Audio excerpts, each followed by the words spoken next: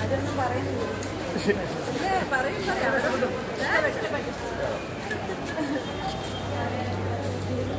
എന്തോന്ന് കഴിഞ്ഞ വന്നതിൽ എങ്ങനെയായിരുന്നു?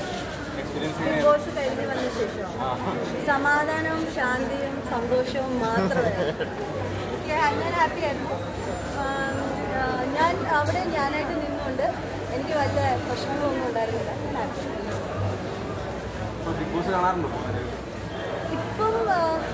കുറേ മൂവീസ് ഒക്കെ കാണാനായിട്ടുള്ള ഒരു ആഗ്രഹം ഉള്ളതുകൊണ്ട് ഞാൻ ബിഗ് ബോസ് എല്ലാം കാണുന്നില്ല. എന്നാലും കട്ട്സ് കാണാറുണ്ട്.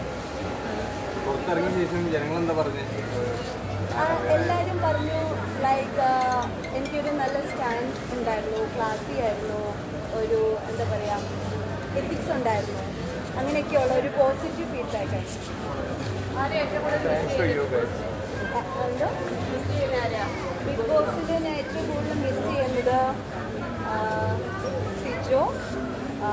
ശ്രീതു അർജുൻ അക്ഷര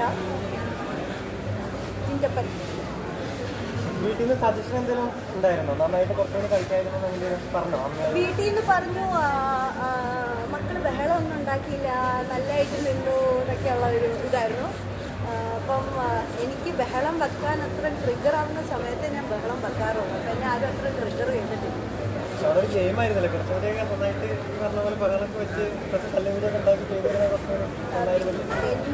കോൺസെപ്റ്റ് അനുസരിച്ച് ബിഗ് ബോസ് എന്ന് പറയുന്നത് നമ്മൾ നമ്മളായിട്ട് നിൽക്കണം എന്നാണ് ഫേക്ക് കാണിക്കാൻ എനിക്കറിയാം